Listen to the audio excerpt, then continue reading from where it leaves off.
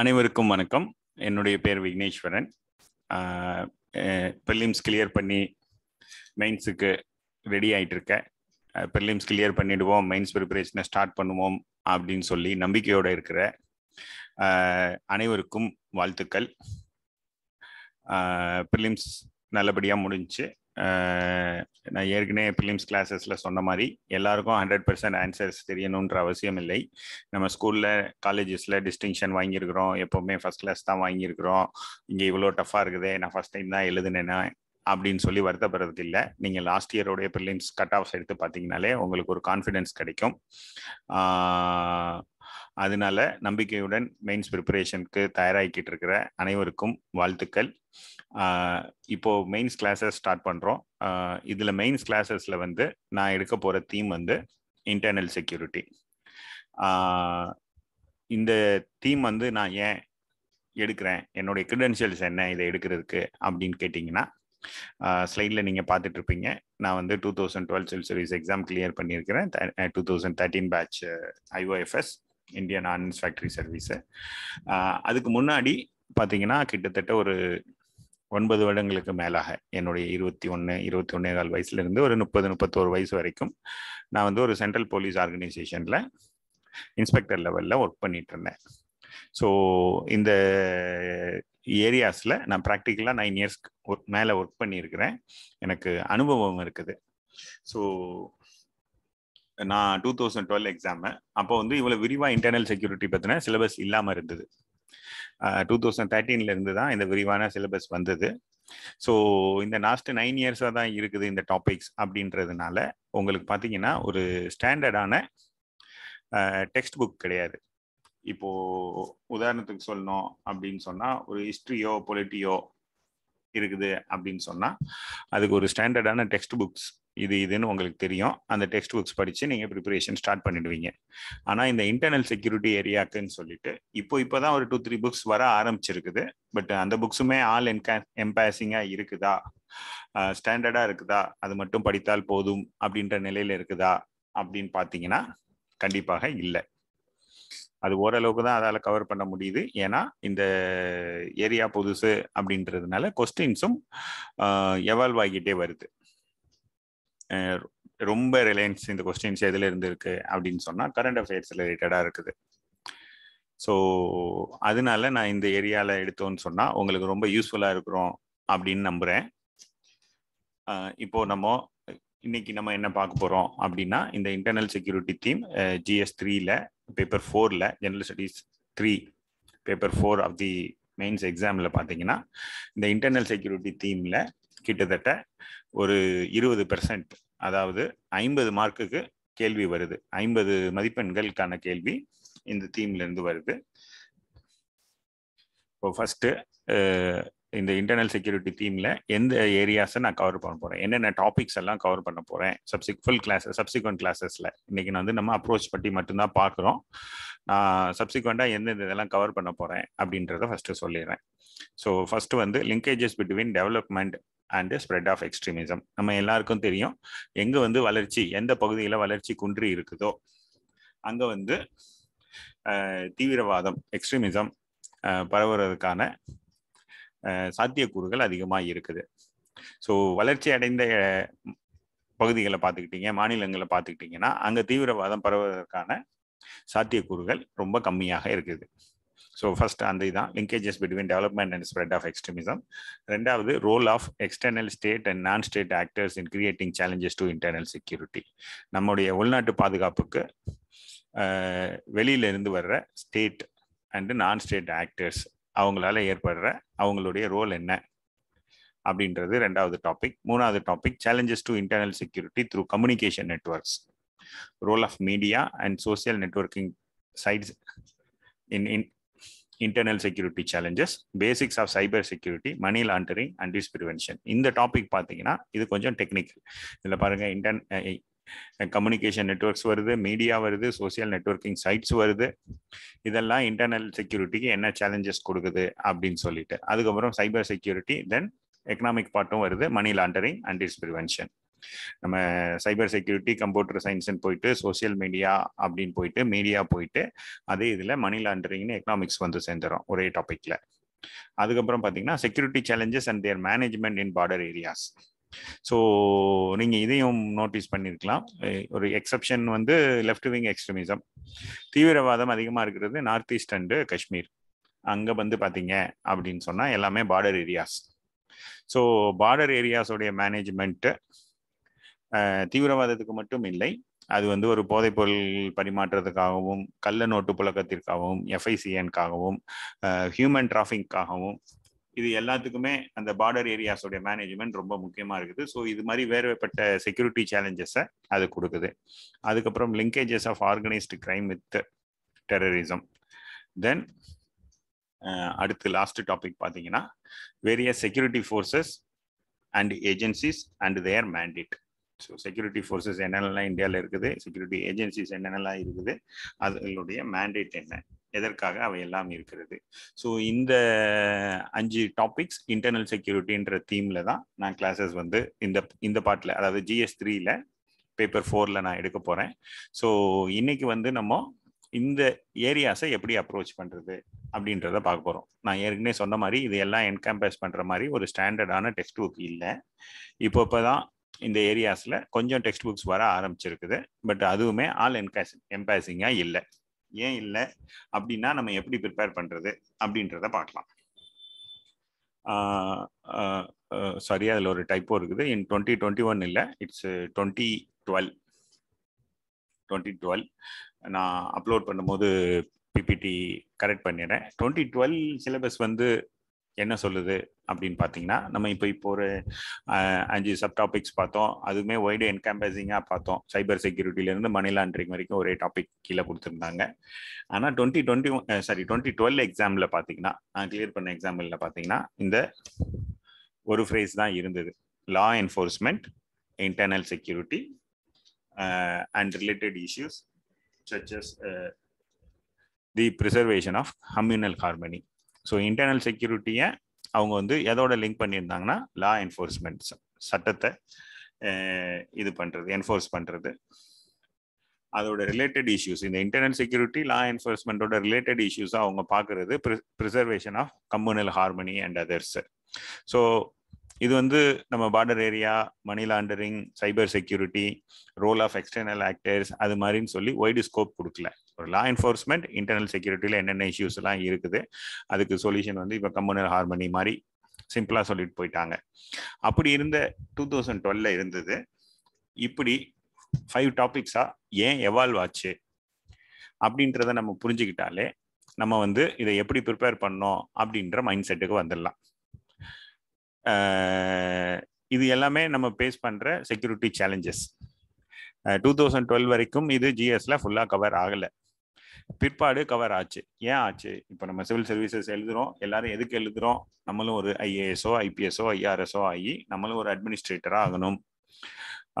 நாட்டோட நிர்வாகத்தில் பங்கெடுத்துக்கணும் அப்படின்றது ஆகிறோம். ஸோ அப்படி ஆகும்போது குறிப்பாக இந்த செக்யூரிட்டி சர்வீசஸில் இருக்கிறவங்க ஈவன் நீங்கள் வந்து நாளைக்கு டிஸ்ட்ரிக்ட் மேஜிஸ்ட்ரேட் ஆனீங்க அப்படின்னு சொன்னால் இந்த சேலஞ்சஸ் எல்லாம் நீங்கள் ஃபீல்டில் ஃபேஸ் பண்ண வேண்டி வரும். ஸோ அதை பற்றின பேசிக் ஐடியா அண்டர்ஸ்டாண்டிங் நமக்கு புரிதல் இருந்துச்சு அப்படின்னு சொன்னால் it will help you in executing your work நீங்கள் ஐஏஎஸ் ஆனாலும் சரி ஐபிஎஸ் ஆனாலும் சரி இல்லை நாளைக்கு மற்ற சென்ட்ரல் குரூப் ஏ சர்வீஸில் இருந்தே டெபுட்டேஷனில் இது சம்மந்தமான மினிஸ்ட்ரிக்கு நீங்கள் போனீங்கனாலும் சரி. ஒரு ஹோம் மினிஸ்ட்ரிக்கோ டிஃபென்ஸ் மினிஸ்ட்ரிக்கோ டெபுட்டேஷன்லேயோ இதுலேயோ போனீங்கனாலும் இது எல்லாம் உங்களுக்கு ரொம்ப ஹெல்ப்ஃபுல்லாக இருக்கும். அது போக மற்ற செக்யூரிட்டி ஏஜென்சிஸ் போலீஸ் ஏஜென்சிஸ்க்குமே வந்து இதிலிருந்து இருக்குது. உதாரணத்துக்கு ஆர்பிஎஃப்ஓ டேனிக்ஸோ பாண்டிச்சேரி போலீஸ் சர்வீஸோ எல்லாமே சிவில் சர்வீசஸ்லேருந்து தான் வருது. ஸோ இது ரொம்ப முக்கியமானது தேவையானதும் கூட. ஸோ நீங்கள் இப்போ நாளைக்கு ஒரு ஐஏஎஸோ ஐபிஎஸோ ஆகிட்டு ஒரு நார்த் ஈஸ்ட் கேடரோ இல்லை லெஃப்ட் விங் எக்ஸ்ட்ரீமிசம் அஃபெக்ட் ஆகிருக்கிற இந்த ரெட் காரிடோரில் இருக்கிற ஒரு இதுக்கு கலெக்டராவோ ஜெயின்கோ கேடரோ கிடச்சி போனீங்கன்னா அவுட் ஆஃப் த ப்ளூ போய் லேண்ட் ஆகுறதுக்கு முன்னாடி நமக்கு இருக்கிற சேலஞ்சஸ் என்ன வே ஃபார்வர்ட் என்ன இதை எப்படி அப்படின்ற ஒரு புரிதலோட போனீங்கன்னா ரொம்ப நல்லா இருக்கும். ஸோ நம்ம நாட்டில் இருக்கிற இந்த சேலஞ்சஸை மைண்டில் வச்சுட்டு தான் இது எவால்வ் ஆயிருக்குது. இது சிலபஸ் டூ தௌசண்ட் டுவெல்ல இப்படி இருந்த சிலபஸ் இப்படி எவால்வ் ஆயிருக்குது. ஸோ இது ஏன் முக்கியம்? புக்கே இல்லைன்னு சொல்றீங்க. என்கம்பேசிங்கா இல்லை. கொஞ்சமாக தான் இருக்குது அப்படின்னு சொல்றீங்க. அப்போ நான் இந்த ஏரியாவை விட்டுட்டு டெக்ஸ்ட் புக் இருக்கிற இடத்துல மட்டும் நான் ஃபோக்கஸ் பண்ணிட்டு நான் அதில் ஹை ஸ்கோர் பண்ணிடலாம் அப்படின்னு இருக்கிறேன் அப்படின்னு நினச்சிங்கன்னா அது மிகப்பெரிய தப்பு. ஏன் அப்படின்னு சொன்னால் எவ்வளோ மார்க்ஸ் இதுக்கு கொடுத்துருக்குறாங்க டூ தௌசண்ட் தேர்ட்டீன்லேருந்து அனாலிசிஸ் பாருங்கள் டூ தௌசண்ட் தேர்ட்டீனில் வந்து ஃபிஃப்டி ஃபைவ் மார்க்ஸ் கொடுத்துருக்காங்க. ஃபோர்டீனில் sixty two point five marks கொடுத்துருக்காங்க. ஃபிஃப்டீனில் வந்து ஒரு sixty two point five marks கொடுத்துருக்குறாங்க. Two thousand சிக்ஸ்டீன்லேருந்து two thousand twenty one mark twenty one வரைக்கும் பார்த்தீங்கன்னா சாலிடாக எவ்ரி இயர் இதுக்கு வந்து ஃபிஃப்டி மார்க்ஸ் கொடுக்குறாங்க. ஸோ டூ ஃபிஃப்டி மார்க்ஸ்க்கு நீங்கள் மொத்த பேப்பர் எழுதுகிற இடத்துல இது வந்து என்ன ஆகுதுன்னு பாருங்க. எத்தனை மார்க்ஸ் வருது? ஃபிஃப்டி மார்க்ஸ் அப்படின்றது கிட்டத்தட்ட twenty percent one fifth one fifth இந்த ஏரியாலேருந்து வருது. ஓகேங்களா? இப்போ டூ தௌசண்ட் ஃபோர்டீனில் வந்து sixty two point five marks இருக்குது இல்லையா? அது எல்லாமே வந்து இந்த பெனல்டிமேட்டா கீழே இருந்து ஒன்று மேலே எழுதியிருக்கும் பார்த்தீங்களா security challenges and their management in border areas இந்த பார்டர் ரிலேட்டட் கொஸ்டின்ஸ் அப்படின்னு சொல்லலாம். ஸோ அந்த ஒரு டாப்பிக்கில் சப் டாப்பிக்ல இருந்து ஃபுல் இது கேட்டிருக்கிறாங்க. நம்ம இங்கே வந்து அஞ்சு டாபிக் சிலபஸில் இருக்கிறத அப்படியே கோட் பண்ணியிருக்கிறோம். அஞ்சு டாபிக் கோட் பண்ணியிருந்தாலும் இந்த security challenges and border areas management அதுலேருந்து கிட்டத்தட்ட அதை தொடர்பு படுத்திய எல்லா கேள்விகளும் அங்கே கொடுத்துருக்குறாங்க. அது ஒரு வருஷம் தான் எக்ஸப்ஷன் மீதி எல்லா வருஷமும் எல்லாம் கலந்து தான் வந்திருக்குது. இந்த மணி லாண்டரிங் மணி லாண்டரிங் அப்படின்ற சப் மன்னிக்குவோம் மணி லாண்டரிங் மணி லாண்டரிங்ன்ற சப் டாபிக் வந்து நம்ம அந்த மூணாவது இதுல லாஸ்டா பாக்குறோம். அந்த மணி லாண்டரிங் ரிலேட்டட் கொஸ்டின்ஸ் ஒரு டூ த்ரீ இயர்ஸ் தான் வந்திருக்குது. பட்டு இதை தவிர்த்து பார்த்தீங்கன்னா நம்ம அந்த அஞ்சு டாப்பிக்கும் லெஸ் டிஸ்ட்ரிபியூட் ஆயிட்டு எவ்ரி இயர் கேட்டிருக்காங்க. ஸோ இப்போ எப்படி தயாராகிறது? என்ன இது அப்படின்றதுக்கு நம்ம அதுக்கு ஆகுறதுக்கு முன்னாடி அடுத்து நம்ம முக்கியமாக தெரிஞ்சுக்க வேண்டியது சிலபஸ் தெரிஞ்சுக்கிட்டோம். நம்ம வந்து ப்ரீவியஸ் இயர் கொஸ்டின் பேப்பர்ஸ் தெரிஞ்சுக்கணும். ப்ரீவியஸ் இயர் கொஸ்டின் பேப்பரை கொஞ்சம் டீட்டெயிலாக நம்ம புரிஞ்சுக்கிட்டோம் அப்படின்னு சொன்னால் யூபிஎஸ்சி என்ன எதிர்பார்க்குறாங்க எப்படி எல்லாம் கேள்வி கேட்குறாங்க அப்படின்றத நம்ம புரிஞ்சுக்கலாம். அப்போ வந்து நம்ம எந்தெந்த ஏரியாலெல்லாம் நம்ம ப்ரிப்பரேஷனை ஸ்டார்ட் பண்ணணும் அப்படின்றதையும் புரிஞ்சுக்கலாம். ஸோ இப்போ வந்து நம்ம ப்ரீவியஸ் இயர் கொஸ்டின் பேப்பர்ஸ் பார்க்கலாம். ஃபர்ஸ்ட் வந்து டூ தௌசண்ட் தேர்ட்டி அதோட இயர் கொஸ்டின் பேப்பருக்கு போகலாம் மணி லாண்டரிங் ரெண்டு மூணு வருஷம் தான் கேட்டிருக்காங்கன்னு சொன்னேன் பட் டூ தௌசண்ட் தேர்ட்டீனில் பார்த்தீங்கன்னா first question money laundering poses serious security threat to a country's economic sovereignty what is the significance for India and what steps are required to be taken to control the menace so இவங்க வந்து கான்செப்டுவலாக கேட்டுட்டாங்க. மணி லாண்டரிங்னு ஏன் serious security த்ரெட்டாக இருக்குது? அதுவும் economics அவேர்னிட்டிக்கு இதோடைய significance என்ன? இதை எப்படி என்ன ஸ்டெப்ஸ் எல்லாம் எடுத்து இதை கண்ட்ரோல் பண்ணலாம்?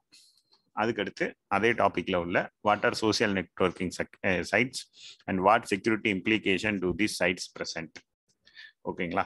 இப்போ ஒரு தீவிரவாதத்தை பரப்புறதுக்கோ ஒரு கலவரத்தை உண்டாக்குறதுக்கோ முந்தையெல்லாம் வந்து என்னன்னா நம்ம ஒரு தீவிரவாதிகளை செலக்ட் பண்ணோம் அவங்கள எல்லை தாண்டி இங்கே அனுப்பணும் இல்லை நாட்டுக்குள்ளேயே இருக்கிறாங்கன்னா அவங்க வந்து எங்க தீவிரவாத செயலில் ஈடுபடுத்துறாங்களோ அங்கே அனுப்பணும் வைக்கணும். அந்த லாஜிஸ்டிக்ஸ்லாம் இருந்துச்சு.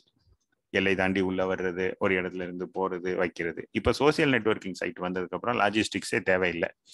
நான் இங்கே உட்காந்துக்கிட்டு எல்லைக்கு அப்பால் இருக்கிற இன்னொருத்தரை பிரெயின் வாஷ் பண்ணி அவரை அங்க தீவிரவாத செயல்களில் ஈடுபடுத்த முடியுது. இல்லைங்களா? ஸோ சோசியல் நெட்ஒர்க்கிங் சைட்டு இது வந்து இட் ஹாஸ் பிகம் ஒரு கலவரத்தை தூண்டுற மாதிரி கருத்துக்களையோ மத உணர்வுகளையோ இன உணர்வுகளையோ மொழி உணர்வுகளையோ இல்லை ஜாதி ரீதியான உணர்வுகளையோ தூண்டுற நல்லதோ கெட்டதோ தூண்டக்கூடிய ஒரு முக்கியமான ரோல்களை இந்த சோசியல் நெட்ஒர்க்கிங் சைட்ஸை இது பண்ணுது. ஸோ அதனால ஏற்படுற சோசியல் இம்ப்ளிகேஷன்ஸ் ரொம்ப இருக்குது. இப்போ உதாரணத்துக்கு பார்த்தீங்கன்னா இந்த நிர்பயா கேஸ் டெல்லியில் நடந்தப்போ எல்லாரும் மெழுகுவர்த்தி போராட்டம் வாங்க அப்படின்னு சொன்னா பல்லாயிரக்கணக்கான பேர் கூட்டிட்டாங்க சோசியல் மீடியாவில் எல்லாரும் போட்டாங்க. இன்னைக்கு இருக்குது வாங்க வாங்க வாங்கன்னு. அங்க போயிட்டு ஒரு செக்யூரிட்டி ஏஜென்சிஸ் பாயிண்ட் ஆஃப் வியூவில் நீங்க ஏன் போராட்டம் பண்றீங்க? என்ன பண்றீங்க? தலைவர்கள் அழைச்சி பேசுறதுக்கு ரெடியாக இருக்கலாம் அப்படின்னு பார்த்தா அங்கே தலைவர்கள்னு சொல்லிக்கிற மாதிரி யாரும் இல்லை. எல்லாரும் சோசியல் மீடியாவை பார்த்துட்டு வந்துட்டாங்க. ஒரு உணர்ச்சி பெருக்கில் வந்துட்டாங்க. அவங்க வந்தது தப்பு அப்படின்னு சொல்லலை. பட் அதுக்குள்ள ஒரு பத்து பேர் விசமிகள் இருந்து ஒரு பெரிய கலவரத்தை ஏற்படுத்தி இருந்தாங்களோ அங்க உள்ள இருக்கிறவங்களே இது பண்ணியிருந்தாங்கன்னா அது கையை மீறி போயிருக்கிறதுக்கான ஒரு வாய்ப்புகள் இருக்கு. இல்லையா? ஸோ அந்த பீரியட்ல அப்படி வந்த கொஸ்டின்ஸ் அது. அதுக்கடுத்து பார்த்தீங்கன்னா cyber warfare is considered by some defence analyst to be a larger threat than even Al Qaeda or terrorism cyber வார்ஃபேர்ன்றது தான் அல்கொய்தா டெரரிசத்தை விட பெரிய த்ரெட்டு அப்படின்னு சிலர் சொல்றாங்க. So what you understand by cyber warfare cyber வார்ஃபேர்னா நீங்க என்னன்னு புரிஞ்சுக்கிறீங்க. Outline the cyber threats which India is vulnerable to and bring out the state of country's preparedness to deal with this them so இப்போ வந்து computer emergency respond team India CERT In அப்படின்னு சொல்லி governments நிறைய policies and organisations create பண்ணாங்க அந்த பீரியட்ல so அது ரிலேட்டடா அது கேட்கப்பட்ட கேள்வி. அடுத்து பார்த்தீங்க அப்படின்னு சொன்னா நம்ம டாபிக் பார்த்தோம் இல்லையா? Linkages between terrorism and development அங்கே வந்துட்டோம். Article two forty four of the Indian constitution relates to administration of schedule areas and tribal areas Analyze the impact of non-implementation of the provision of fifth schedule and the growth of left-wing extremism. So Indian பொலிட்டின்னு சொல்லலாம் but land ரிஃபார்ம்னு சொல்லலாம் இதுன்னு சொல்லலாம். So இது வந்து socio economic factors growth of left wing extremism நம்ம left wing extremism பார்க்கும்போது இதை டீட்டெயிலாக பார்க்கலாம். Then border area management So, how far the India's internal security challenges linked with the border management, particularly in view of the long porous borders with most countries of South Asia and Myanmar? நம்ம வந்து south ஏசியாலேயே Myanmar இருக்கக்கூடிய Myanmar plus south ஏசியாவில் இருக்கிற எல்லா countries கூடயும் நம்ம border வந்து ரொம்ப போரஸாக இருக்கு. போரஸ் அப்படின்னா என்னன்னு சொல்றோம் அப்படின்னு சொன்னா யார் வேணாலும் எளிதில் ஊடுருவி உள்ள வர்றதுக்கு ஏற்ற மாதிரி இருக்கு. திருட்டுத்தனமா நுழையிறதுக்கு வழிகள் நிறையா இருக்குது. இது வந்து நம்ம இன்டர்னல் செக்யூரிட்டிக்கு என்ன சேலஞ்சஸ் இது பண்ணுதுன்னு. இப்போ நம்ம அஞ்சு கொஸ்டின் பார்த்துட்டோம். அதில் உள்ள அங்கே உள்ள டாபிக்ஸ் சிலபஸ் ஏற்கனவே பார்த்துட்டோம். இப்போ இந்த அஞ்சு கொஸ்டின்லேருந்து உங்களுக்கு பேசிக்காக என்ன தெரியுதுன்னா இந்த அஞ்சு கொஸ்டின்ஸ் அந்த அஞ்சு ஏரியாவில் இருக்கிற கான்செப்ட்ஸு உங்களுக்கு தெளிவு இருந்துச்சுன்னு சொன்னால் இந்த அஞ்சு கொஸ்டின் நீங்கள் அட்டன் பண்ணிடலாம். இது வந்து very first year of the syllabus question அவங்க வந்து நீங்கள் சோசியல் நெட்ஒர்க்கிங் சைட்ஸ்னால் என்ன அதோட இது என்னன்னு தெரிஞ்சிருந்தா போதும். Linkages of development and extremism தெரிஞ்சிருந்தா போதும். ஃபோர்த்து கொஸ்டின் எழுதி இந்த ஆர்டிகல் ஃபோர்த்து கொஸ்டின் எழுதிடலாம். அதுக்கப்புறம் பார்டர் மேனேஜ்மெண்ட்டுக்கு இந்த போரஸ் பார்டர்னால இருக்கிற இம்ப்ளிகேஷன்ஸ் என்னன்னு சொல்லி ஸ்ட்ரைட் அண்ட் ஸ்ட்ரைட் கான்செப்டுவல் கொஞ்சம் அனலிசிஸ் பண்ணால் எழுதுன மாதிரி first year of the syllabus அதாவது டூ தௌசண்ட் தேர்ட்டீனில் கேட்டாங்க. அடுத்து நம்ம ரெண்டாவது இயருக்கு போகும்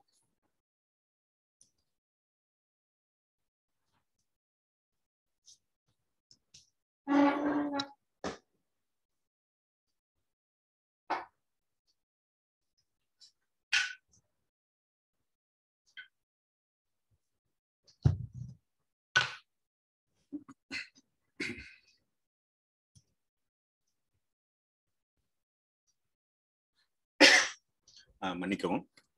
ரெண்டாவது இது பார்த்தீங்கன்னா டூ தௌசண்ட் ஃபோர்டீனில் இந்த diverse nature of India is a multi religious and multi ethnic society is not immune to the impact of radicalism which is seen in our neighbourhood discuss along with strategies to be adopted to counter this environment radical அப்படின்னா என்ன மீன் பண்றோம்னா என்னுடைய view தான் correct என்னுடைய interpretation தான் correct இப்படி தான் இருக்கணும் அப்படின்னு எதிர்பார்க்கறது.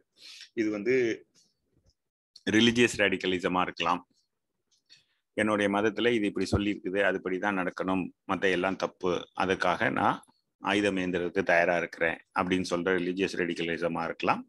சோசியல் இந்த சொசைட்டியில இருக்கிற இந்த தல் ஏற்றத்தாழ்வுகள் தப்பு கீழே இருக்கிற மக்கள் அடித்தட்ட மக்கள் உழைக்கும் மக்களுக்கு தேவையான இது கிடைக்கல அப்படின்னு சொல்லி ஒரு லேடிக்கல் லெஃப்ட் திங்கிங் வச்சிருக்கிற இவங்களாவும் இருக்கலாம்.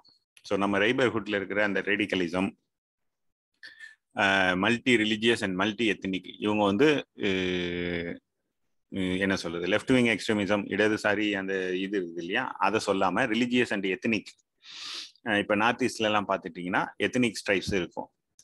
நாகாஸ்க்கும் மை மணிப்பூரிஸ் மணிப்பூரிஸில் இருக்கிற மைத்தீஸ்க்கும் ஆகாது. அவங்க வந்து நாகா இன்ஹிபிட்டட் டிஸ்ட்ரிக்ஸ் எல்லாம் மணிப்பூர்ல இருந்து பிரிச்சு எங்களுடைய கிரேட்டர் நாகாலிம்ல கொடுத்துருங்க அப்படின்னு சொல்லுவாங்க. இந்த மாதிரி ரேடிக்கல் திங்கிங் இருக்கிறது அதுக்கப்புறம் ரிலிஜியஸ் திங்கிங் நம்ம எல்லாம் ஒரே மதத்தில் இருக்கிறோம். காஷ்மீர் நம்ம கூட சேர்ந்துடணும் பாகிஸ்தான் கூட சேர்ந்துடணும் அப்படின்னு நினைக்கிறது. ஸோ அந்த ரேடிகலிசம் பற்றி அடுத்து international civil aviation laws provide all countries to complete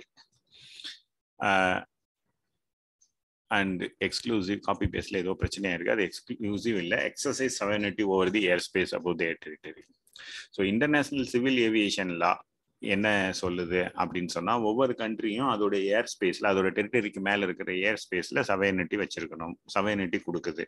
so இந்த ஏர் ஸ்பேஸ் அப்படின்னா நீங்க என்ன புரிஞ்சுக்கிறீங்க? ஸோ இதோட இம்ப்ளிகேஷன் என்ன? சேலஞ்சஸ் விச் தி இது இதுல இருக்கிற என்ன சேலஞ்சஸ் இதுல வந்து இருக்கிற த்ரெட்டை நம்ம எப்படி கண்ட்ரோல் பண்றது? நம்மளுடைய ஏர் ஸ்பேஸை நம்ம எப்படி பாதுகாத்துக்கிறது? ஏர் ஸ்பேஸ்ல என்ன த்ரெட்டு நம்ம பார்டர்னா லேண்ட் பார்டர் யோசித்திருப்போம். எல்லாரும் யோசிச்சிருப்போம் லேண்ட் பார்டர் அது போக நமக்கு சி பார்டரும் இருக்கு. இந்தியாவுக்கும் ஸ்ரீலங்காவுக்கும் நடுவில் அங்கே இருக்கிற ஃபிஷர்மேன் ப்ராப்ளமும் இருக்கு. அதுவும் ஒரு பார்டர் இஷ்யூ தான். இவங்க மூணாவது டைமென்ஷனுக்கு எடுத்துட்டு போறாங்க. ஏர் பார்டர் ஏர் ஏர் ஸ்பேஸ் ஓகேங்களா? அடுத்து how does illegal transborder migration pose a threat to India's security. Discuss the strategies to curb this, bring out the factors which give impetus to such migration. இப்போ பார்த்தீங்க அப்படின்னு சொன்னா இந்தியாவும் நேபாளும் ஒரு நட்பு நாடு. நம்ம எல்லாருக்கும் தெரியும். ரொம்ப சின்ன வயசுல இருந்து தெரியும். கடந்த பல டெக்கேட்ஸா எடுத்துக்கிட்டீங்கன்னு சொன்னீங்கன்னா நேபாளில இருந்து நிறைய பேர் வந்து இங்க குர்காக்லோவோ இதாவோ வேலை பார்க்குறாங்க. அங்க போறாங்க. அவங்களுக்கு விசா தேவையில்லை. நமக்கு விசா தேவையில்லை. அதே நேரத்துல பாத்தீங்க அப்படின்னு சொன்னா இப்போ பக்கத்துல இருக்கிற பங்களாதேஷிஸ் எடுத்துக்கிட்டீங்கன்னு சொன்னா அவங்க வர்றதுக்கு விசா தேவை. ஆனா அவங்க பெருமளவுல அங்க இருந்து இங்க வராங்க. ஏன் வராங்க? அப்படின்னு சொன்னா அவங்க நாட்டுல போதிய அளவுல வேலை வாய்ப்பு இல்லை பணப்புழக்கம் இல்லை. இங்க வந்தா வேலையும் கிடைக்குது பணத்தையும் எடுத்துட்டு போக முடியும் அப்படின்ற நம்பிக்கை இருக்குது. அதுக்கு அதாவது பணம் சம்பாதிச்சுட்டு போக முடியும் அப்படின்ற நம்பிக்கை இருக்குது.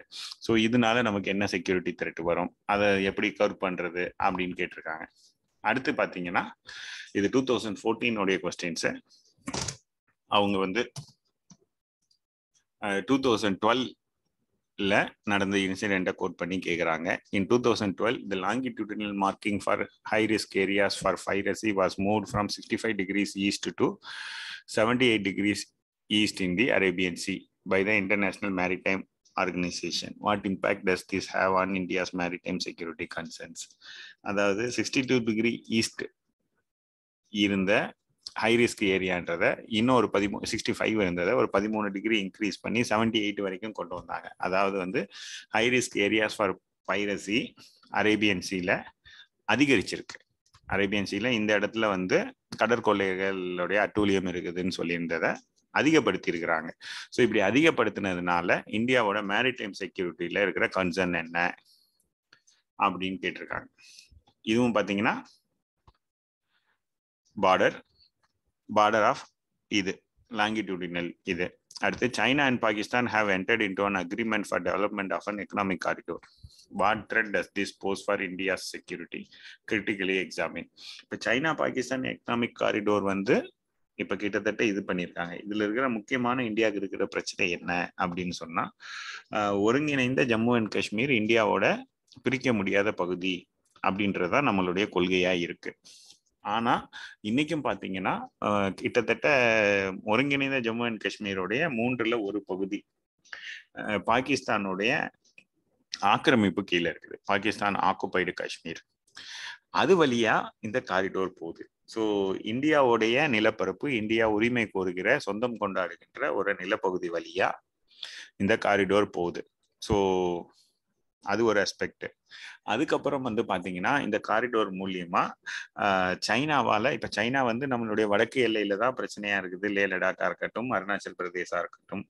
இப்போ பார்த்தீங்கன்னா அவங்க வந்து டைரக்டா ஒரு காரிடோர் போட்டு பாகிஸ்தானுக்கு இது பண்ணி மேற்கு எல்லைக்கும் அவங்களால வர முடியும் இல்லையா? ஒரு ஃபியூச்சர்ல ஸோ இதை பத்தி கேட்டிருக்காங்க. இப்போ பார்த்தீங்கன்னா நம்ம ஃபர்ஸ்ட் இயர்ல என்ன கொஸ்டின்ஸ் பார்த்தோம் அப்படின்னா டைரக்டா கான்செப்ட்ஸ் தான் கேட்டிருந்தாங்க. இப்போ வந்து பாத்தீங்கன்னா அதை கொஞ்சம் கொஞ்சமா இங்கே கொண்டு போயிட்டு இருக்காங்க எங்க கொண்டு போயிட்டு இருக்காங்க அப்போ நடந்த ஒரு கரண்ட் அஃபேர்ஸ் ரிலேட்டடா கொண்டு போயிட்டு இருக்காங்க டூ தௌசண்ட் டுவெல்ல இது சைனா பாகிஸ்தான் எக்கனாமிக் காரிடோர்னா இது அப்படின்னு சொல்லி. அது போக டூ தௌசண்ட் ஃபிஃப்டீனுக்கு வருவோம். இது சைபர் செக்யூரிட்டிக்கு வந்துட்டாங்க. இதுல வந்து advantages and security implications of cloud hosting of servers vis of house machine based hosting of government businesses இப்போ கவர்மெண்ட் பிஸ்னஸோடைய அந்த சர்வர்ஸ் எல்லாம் ஒரு இடத்துல ஒரு மெஷினில் வைக்கிறதுக்கும் இல்லை கிளவுடில் கொண்டு போய் வைக்கிறதுக்கும் உள்ள அட்வான்டேஜஸ் அதோட செக்யூரிட்டி இம்ப்ளிகேஷன்ஸ் என்ன அப்படின்னு டிஸ்கஸ் பண்ண சொல்லியிருக்கிறாங்க. ஃபர்ஸ்ட் கொஸ்டின் ரெண்டாவது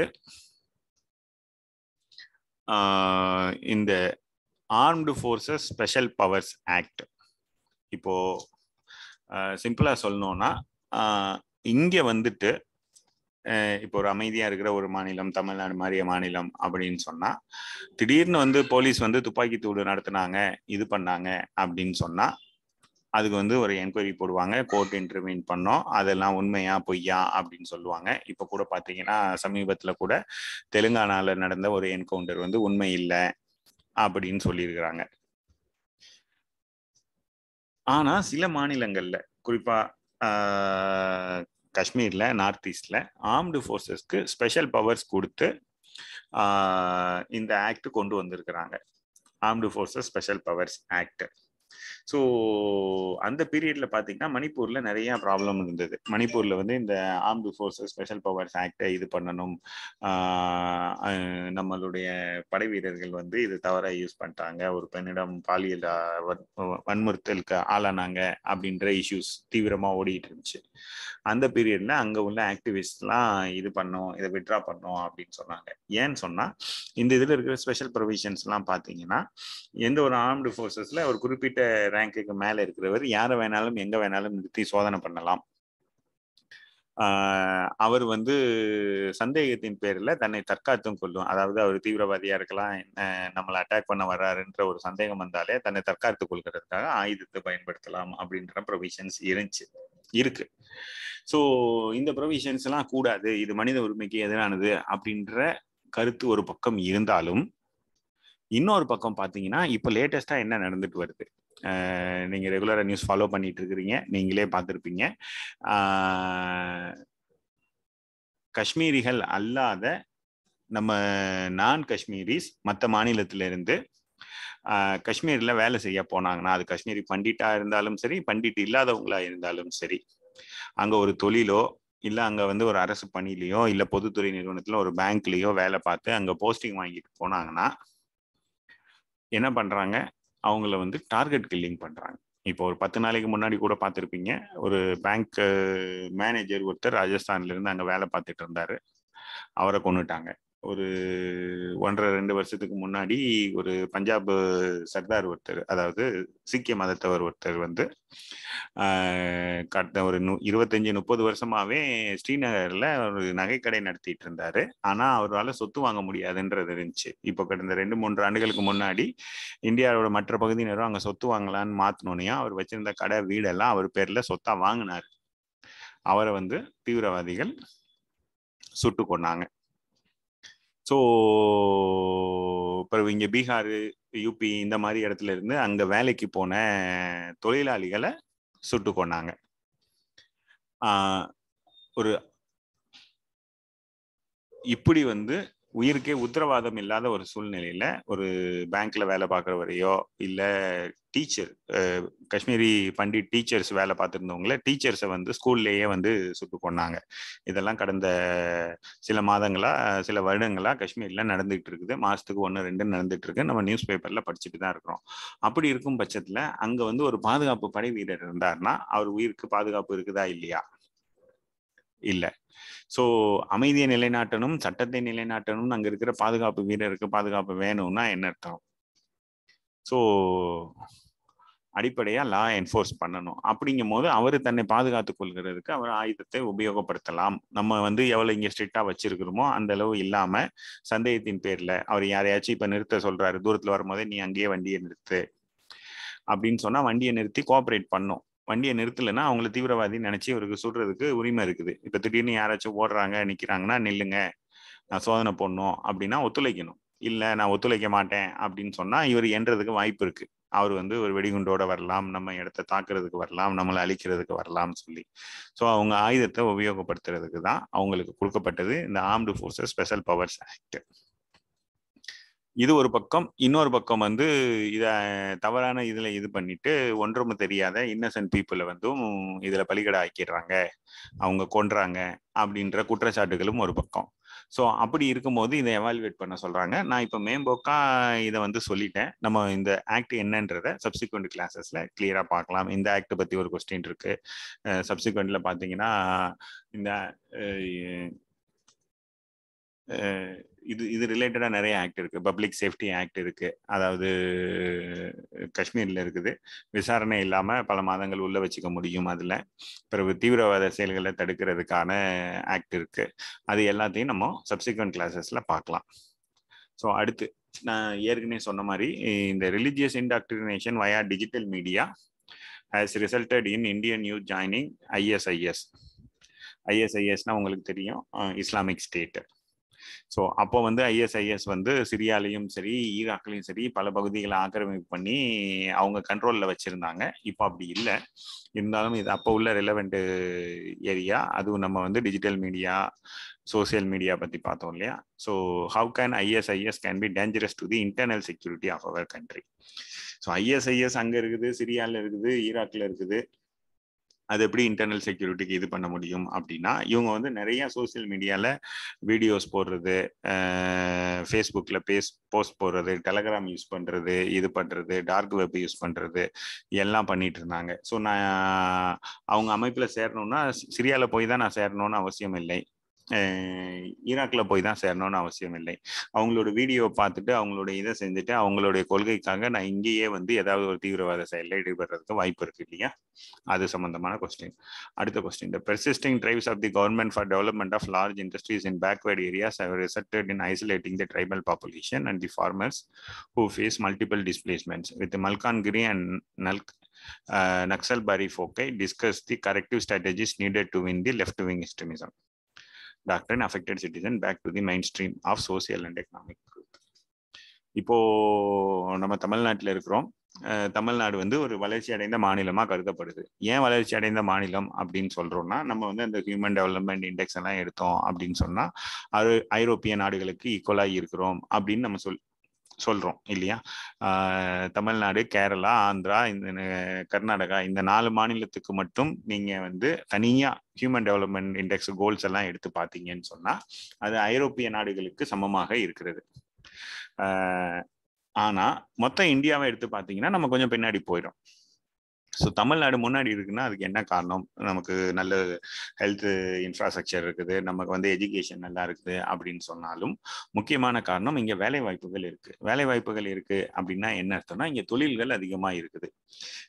சென்னை மாதிரி இடத்துல ஐடி எடுத்துக்கிட்டாலும் சரி சென்னையோட சுற்றுப்புறம் ஹோசூர் கோயம்புத்தூர் மாதிரி இடத்துல இண்டஸ்ட்ரீஸ் எடுத்துக்கிட்டாலும் சரி திருப்பூர் இங்கெல்லாம் பார்த்தீங்க அப்படின்னு சொன்னால் நிறைய பேருக்கு வேலை வாய்ப்புகள் கொடுக்கும் மாதிரி இது இருக்குது. ஸோ அக்ரிகல்ச்சரை மட்டும் நம்பிக்கிட்டு இருந்தோம் அப்படின்னு சொன்னால் அது சப்சிஸ்டன்ஸாவோ இல்லை ஒரு ப்ளூ காலர் அடிப்படை ஊதியத்தையோ மட்டுமே கொடுக்க முடிய இதாக தான் இருக்கும். ஒரு பெரிய அளவில் இண்டஸ்ட்ரீஸ் கொண்டு வந்தால் தான் அதை விட அதிகமான ஊதியத்தை நம்ம நிறைய பேருக்கு கொடுக்க முடியும். நிறைய பேரை வந்து வறுமை கோட்டுக்கு மேலே எடுத்துட்டு வர முடியும். ஸோ இண்டஸ்ட்ரியலைசேஷன் அப்படின்னு இருந்தால் தான் நம்ம பொருளாதார வளர்ச்சி அதிகமாக அடைய முடியும். பொருளாதார வளர்ச்சி இருந்தால் தான் உங்களுடைய எழுத்தறிவு விகிதம் லிட்ரஸி அப்படின்றது கூடும். ஏன்னா இது மூணுமே ஒரு விசிய சைக்கிள். நீங்கள் இல்லிட்ரேட்டராக இருந்தீங்க அப்படின்னு சொன்னால் உங்களால் எம்ப்ளாய்மெண்ட் ஆப்பர்ச்சுனிட்டிஸ் உங்களுக்கு கம்மியாக இருக்கும். நீங்களுக்கு எம்ப்ளாய்மெண்ட் ஆப்பர்ச்சுனிட்டிஸ் கம்மியாக இருக்குது இல்லிட்ரேட்டராக இருக்கிறீங்க அப்படின்னு சொன்னால் உங்களுடைய ஹெல்த்து போகும். இந்த மூணையும் பிரேக் பண்ணணும். இல்லிட்ரஸி ஹெல்த்து அண்டு பொருளாதாரம். இது மூணுமே லிங்க்டு.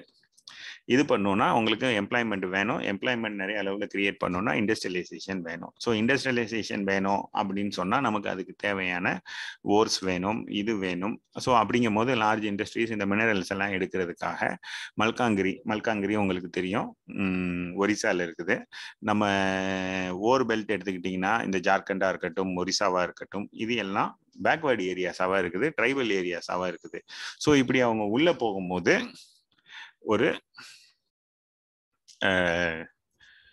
என்ன சொல்றது? ஒரு ஃப்ரிக்ஷன் உருவாகுது. அங்கே உள்ள ட்ரைபல்ஸு அவங்களுடைய கலாச்சாரத்தை நம்ம இது பண்ணுறோம் அவங்களுடைய இதை டிஸ்டர்ப் பண்ணுறோம் அப்படின்னு ஒரு குற்றச்சாட்டு இருந்தாலும் இது இல்லாமல் எப்படி இண்டஸ்ட்ரியலைசேஷனை கொண்டு போகிறது வளர்ச்சியை கொண்டு போகிறது ஸோ ஒரு மாய தோற்றம் உருவாக்கப்படும் அந்த ட்ரைபல்ஸ் கிட்ட. இங்கே பார்த்தியா இந்த மலை உனக்கு சொந்தம் இந்த இது உனக்கு சொந்தம். ஆனால் வெளியிலேருந்து படிச்சுட்டு வந்த வெளியிலேருந்து வர்றவங்க எல்லாத்தையும் சுரண்டி எடுத்துகிட்டு போகிறாங்க அவங்க தான் சம்பாதிக்கிறாங்க.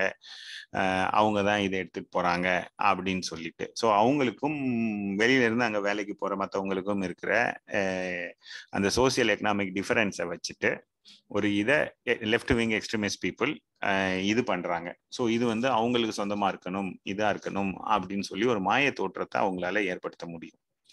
ஸோ இது again same linkages between development and extremism related question அடுத்ததா வந்து பாத்தீங்கன்னா considering the threats in cyberspace forces for the security India needs a digital armed forces to prevent crimes critically evaluate the national cyber security policy two thousand thirteen outlining the challenges perceived in its effective implementation இப்போ இதுல பாருங்க conceptual areas மட்டும் கேட்காம ஒய்டன் பண்றாங்க. என்ன ஒய்டன் பண்றாங்க?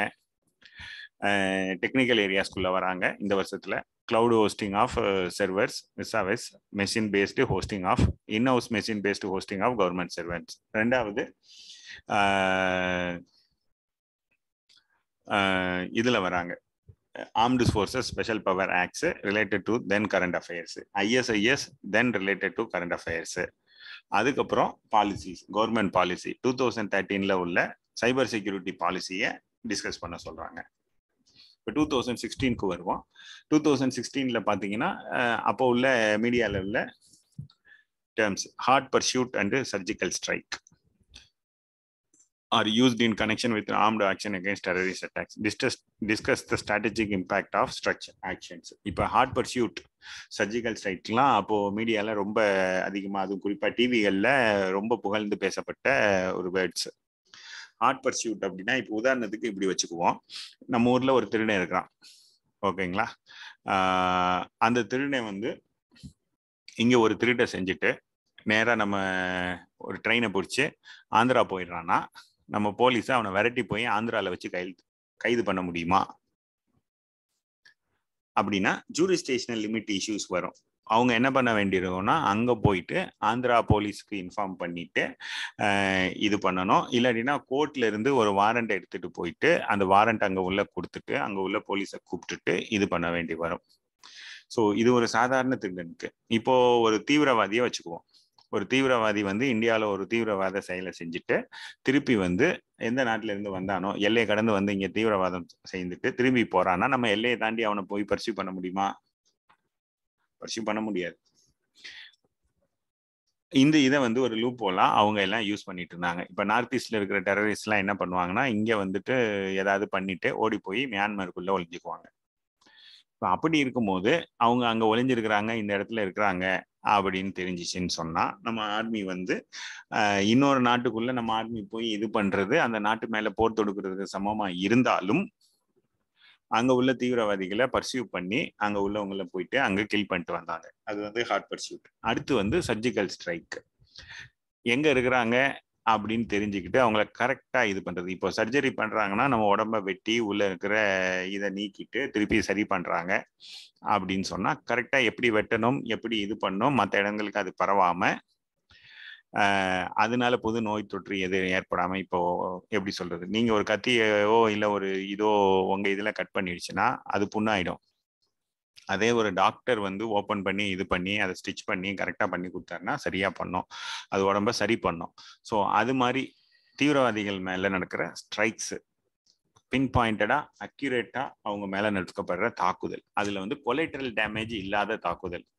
இப்போ தீவிரவாதியை கொல்ல போயிட்டு அது ஒரு பெரிய அளவில் வெடித்து இதாகாமல் மற்றவங்களுக்கு பாதிப்பு ஏற்படாமல் யாரை நம்ம டார்கெட் பண்ணுறோமோ அவங்கள மட்டும் குறிவைத்து தாக்குதல் தான் சர்ஜிக்கல் ஸ்ட்ரைக்ஸு ஸோ அதோட ஸ்ட்ராட்டஜிக் இம்பேக்ட் என்ன அப்படின்னு சொல்லிட்டு. அதுக்கப்புறம் வந்து terrorism is emerging as a competitive industry over the last few decades analyse the above statement இதை நம்ம என்ன பண்ண போகிறோம் அப்படின்னு சொன்னால் நம்ம வந்து இந்த காஷ்மீர் டெரரிசம் பற்றி பார்க்கும்போது டெரரிஸ்ட் ஆர்கனைசேஷன் பற்றி பார்க்கும்போது நம்ம விரிவாக பார்க்கலாம்.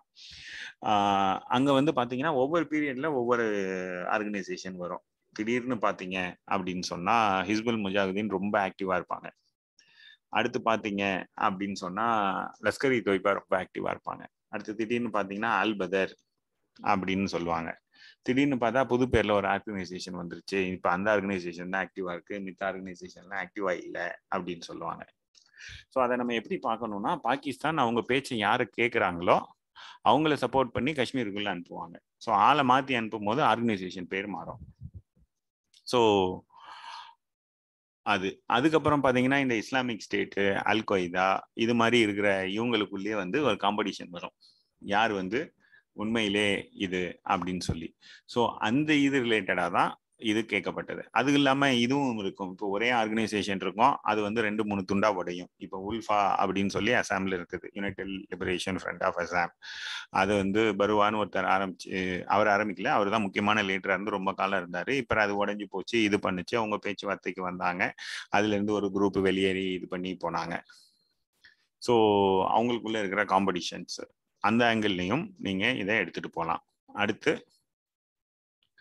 Uh, next, border management is a complex task due to difficult terrain and hostile relation in uh, some countries. Elucidate the challenges and strategies for effective border management.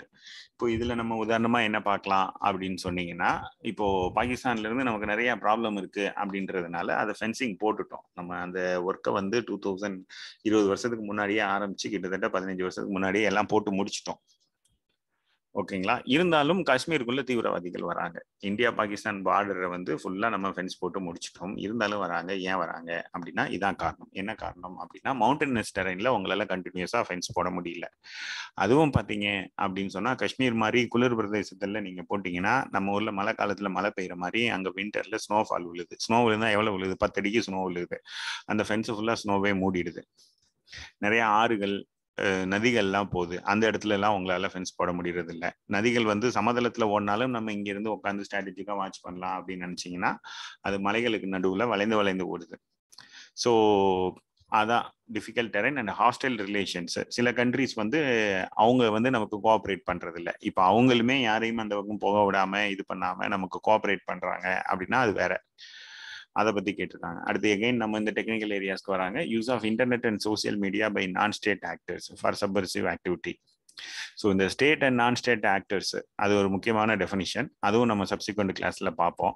So இந்த இன்டர்நெட்டை அவங்க use பண்றதை பத்தி.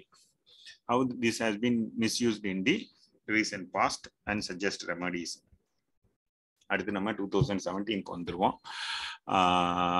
Potential threats of cyber attack and security framework to prevent it so இந்த security cyber security frameworks of government policies இது ஒரு முக்கியமான area ரிப்பீட்டடாக கேட்குறாங்க அதையும் நம்ம பார்ப்போம்.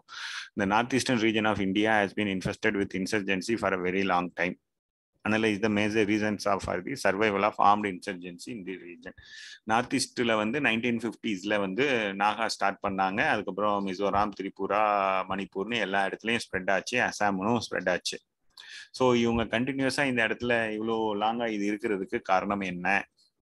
ஸோ மெயினான காரணம் அந்த linkages between development and terrorism அங்கே வந்து போதிய அளவில் டெவலப்மெண்ட் ஆகலை. ஈவன் பேசிக் இன்ஃப்ராஸ்ட்ரக்சர் கூட இன்னொரு இப்போ லாஸ்ட் டுவெண்ட்டி இயர்ஸாக இம்ப்ரூவ்மெண்ட் இருக்குது. அதுக்கு முன்னாடி வந்து சரியான ரோடு வசதியோ கம்யூனிகேஷன் ஃபெசிலிட்டிஸோ இல்லாமல் அந்த ஏரியாஸ் இருந்தது. அது ஒன்று அடுத்தது இப்போ இந்த லேட்டஸ்ட்டு இப்போ இன்னைக்கு கூட நீங்க இன்னைக்கு மீன்ஸ் இது நாளைக்கு லெக்சர் இல்லையா? பதினாறாம் தேதி கூட பாத்தீங்கன்னா இந்த அக்னி பாத்ன்ற ஸ்கீம் கொண்டு வந்ததுக்கு எகேன்ஸ்டா மாபைலன்ஸ் இன் ஹரியானா. ஸோ அது ஒரு லா அண்ட் ஆர்டர் ப்ராப்ளமாக வருது. By giving suitable example analyse the cause and consequences of such Mau the scourge of terrorism is a grave challenge to national security. What solutions do you suggest to curb the growing menace? What are the major sources of terrorist funding? So money laundering அந்த ஃபண்டிங்க்கு terrorist ஃபண்டிங்க்கு வந்துட்டாங்க. So again நீங்கள் வந்து பார்த்தீங்கன்னா இனிஷியலாக two thousand தேர்ட்டீனில் conceptual questions நிறையா இருந்தது. இப்போ பார்த்தீங்கன்னா இதுலேயும் எகைன் கான்செப்சுவல் கொஸ்டின்ஸ்க்கு வராங்க.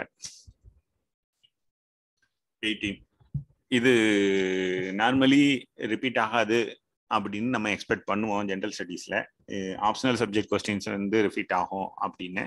ஆனால் பாருங்க நம்ம ஏற்கனவே ஒரு கொஸ்டின் பார்த்தோம் சைனா பாகிஸ்தான் எக்கனாமிக் காரிடோர் இப்போ again China Pakistan economic corridor is viewed as a cardinal subset of China's larger one belt one road initiative so again சிபிஎஸ்சியை வந்து டிஸ்கிரைப் பண்ண சொல்கிறாங்க ஸ்லைட்டாக மாடிஃபை பண்ணி இப்போ என்ன கேட்குறாங்கன்னா enumerate the reasons why India has distance itself from the same சைனாவோட one belt one road initiative அப்படின்னு சொல்லி ஒரு இனிஷியேட்டிவ் இருக்குது அதில் நிறையா கண்ட்ரிஸ் வந்து பார்ட்டிசிபேட் பண்ணுறாங்க இன்க்ளூடிங் நம்ம Sri Lanka.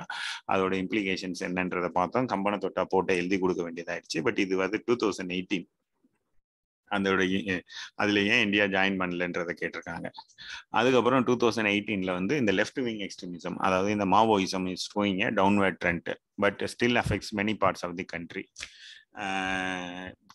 briefly explain the government of India's approach to counter the challenges. LWEயும் ரிப்பீட்டடாக கேட்குறாங்க அடுத்து data security has acquired significant importance in the digitalised world due to rising cyber crimes அதுக்கப்புறம் இந்த justice B N Srikrishna committee report addresses the issue related to data security what in your view are the strength and weakness of the report relating to protection protection of personal data அடுத்து India's proximity to the two of the world's biggest illicit opium growing states has enhanced internal security concerns biggest opium growing states two ஒன்று வந்து ஆப்கானிஸ்தான் இன்னொன்று வந்து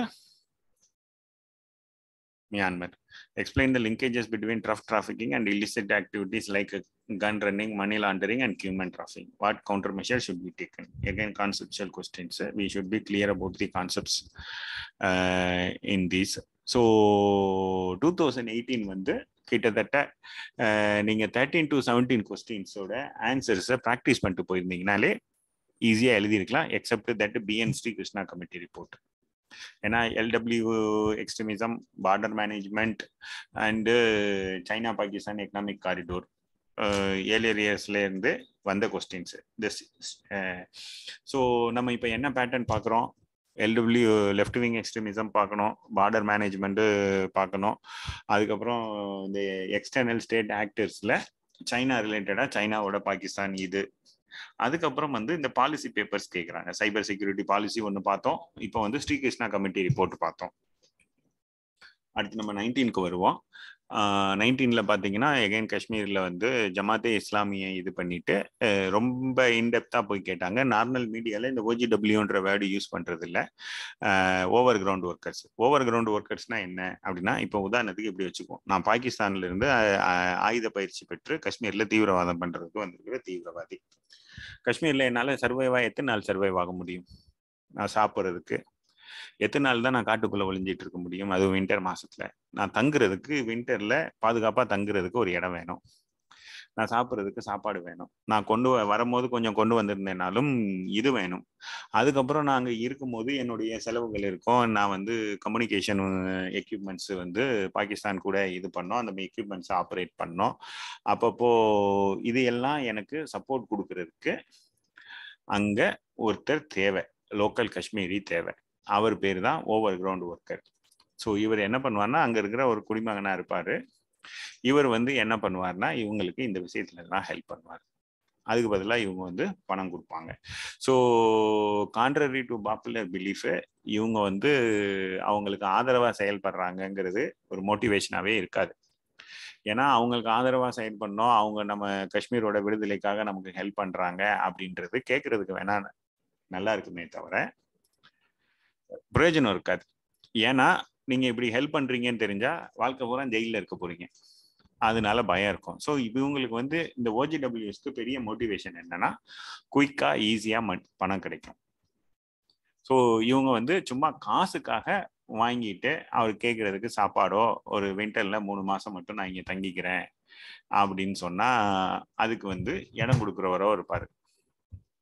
ஓகேங்களா so ஆனா இவர் ஒன்றும் தெரியாத அப்புராணி அப்படின்னா இல்லை. ஒரு தீவிரவாதிக்கு உதவுறாரு. ஸோ அவங்களுடைய ரோல் பற்றி என்ன அப்படின்னு கேட்டிருக்காங்க. இது நார்மலாக பேப்பரில் ஓஜிடபிள்யூன்ற நாமன் கிளேச்சரோ இதோ சொல்லி வராது. நம் அதுவும் குறிப்பாக நம்ம ஏரியாவில் வர்ற பேப்பரில் பட்டு ஜமாத்தே இஸ்லாமியில் இருக்கிறவங்க இந்த ஓவர் கிரவுண்ட் ஒர்க்கர்ஸாக அதிக அளவில் செயல்படுறாங்க அப்படின்ற மாதிரி அந்த நேரத்தில் வந்த நியூஸ் அதை வச்சு இந்த கொஸ்டின் கேட்டிருக்காங்க.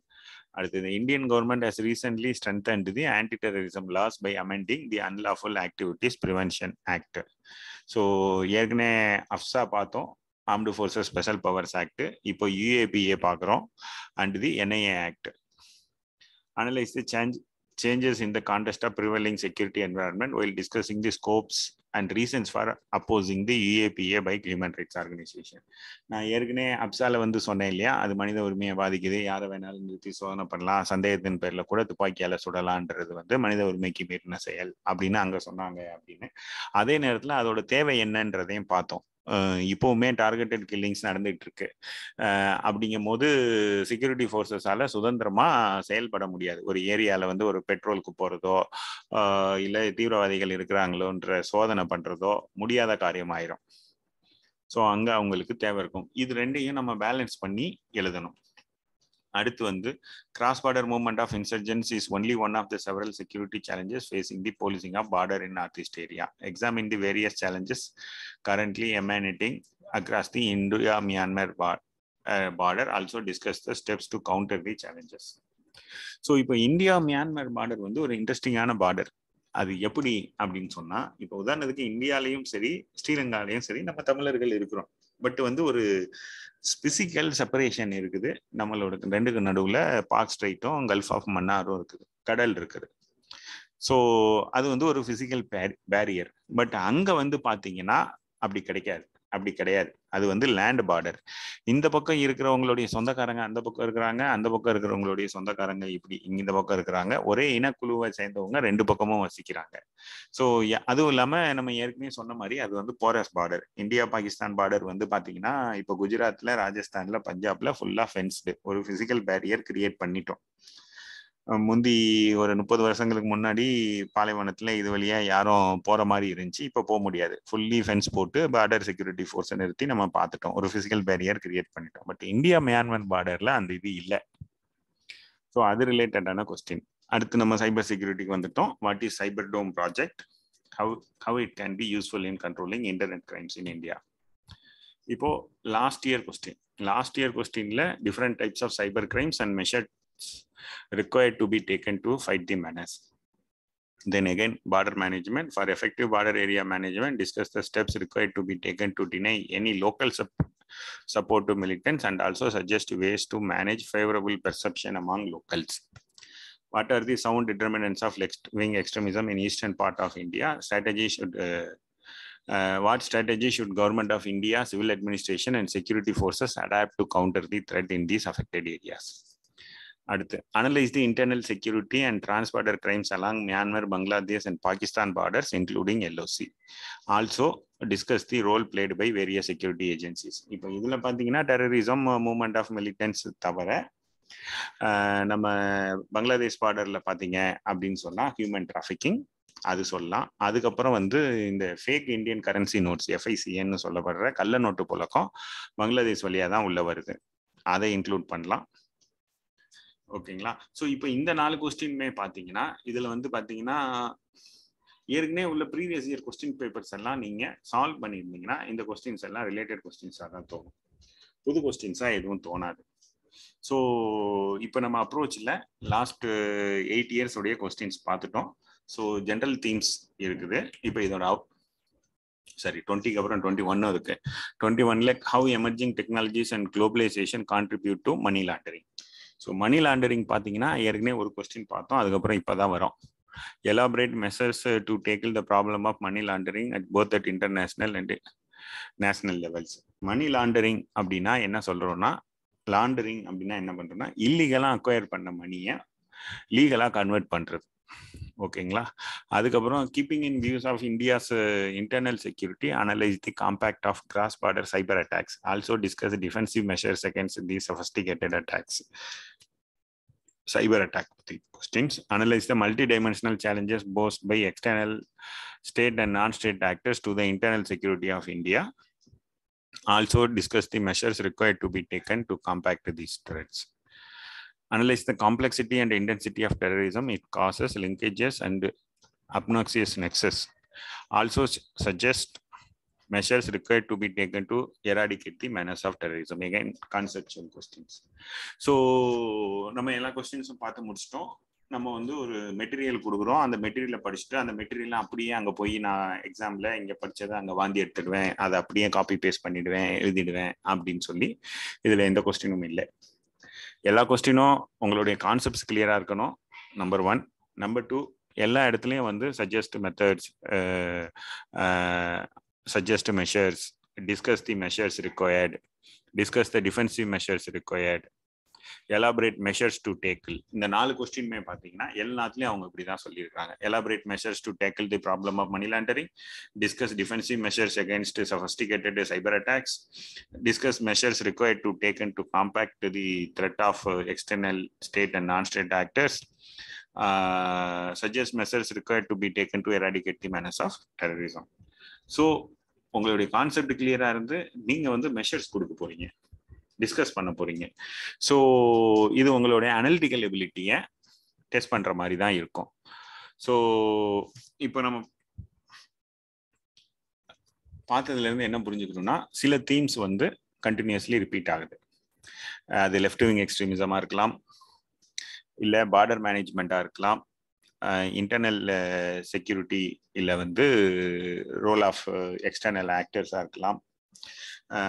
Acts armed forces special power ஆக்ஸோ இல்லை இதுவோ? அந்த எக்ஸ்டர்னல் ஸ்டேட் ஆக்டர்ஸில் சைனா வந்து ஒரு recurring theme China economic corridor இப்போ அது ரிலேட்டடாக பார்த்தோம் அப்படின்னு சொன்னால் இந்த ஸ்ரீலங்காவில் இருக்கிற கிரைசிஸு அது கம்மனை தொட்டா அது எல்லாம். ஸோ இப்போது இந்த அனாலிசிஸ்லேருந்து என்ன அவுட்கம்க்கு நம்ம வரோம் அப்படின்னா ரோட் லேர்னிங் அதாவது குருட்டு மனப்பாடம் பண்ணுறதுன்றது கதைக்காகாது எனக்கு லெஃப்ட் விங் எக்ஸ்ட்ரீமிசம் அப்படின்னா அதோட ஹிஸ்ட்ரி என்ன இது என்ன அது என்ன அப்படின்னு ஒரு குருட்டு மனப்பாடம் பண்ணிட்டு அதை அப்படியே இங்கே ஒப்பிச்சிடலான்ற மாதிரி கொஸ்டின்ஸ் ரொம்ப கம்மியாக தான் வரப்போகுது.